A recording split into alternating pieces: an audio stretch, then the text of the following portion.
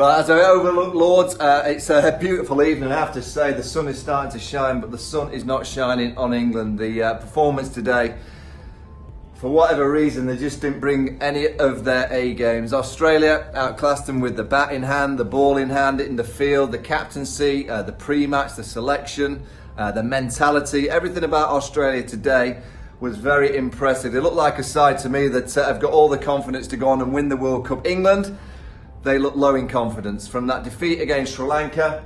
Um, they clearly have an issue about batting on these kind of wickets. You know, I don't think they bowled full enough with the new ball this morning. There was an opportunity there. They didn't have a great deal of luck. They were beating the outside edge, but I think batting on these kind of wickets, particularly when they're chasing, they don't seem to have the right approach. They go a little bit too hard too soon, and then they don't seem to have that ability to just build a partnership by playing a different way. You, you want to be aggressive, of course you do. You want to try and hit the boundaries when the opportunity arises, but you've also got to be able to manoeuvre the ball into the gaps and just play the sensible game. And you know that could be the reason why England don't win this World Cup. They're not out of it though. They've got two games to go. They play India on Sunday. Uh, that should be easy in Edgbaston, the the kind of wicket that will be very similar to the one we've seen, very slow, very similar possibly to the Headingley wicket against Sri Lanka. So it's not going to be easy for England. India and New Zealand, they've got to win both games. I can't see how one win will get them through unless, uh, I guess, Pakistan lose tomorrow against New Zealand and then it could all be down to them winning one game. But they've got to play a lot better. Winning that one game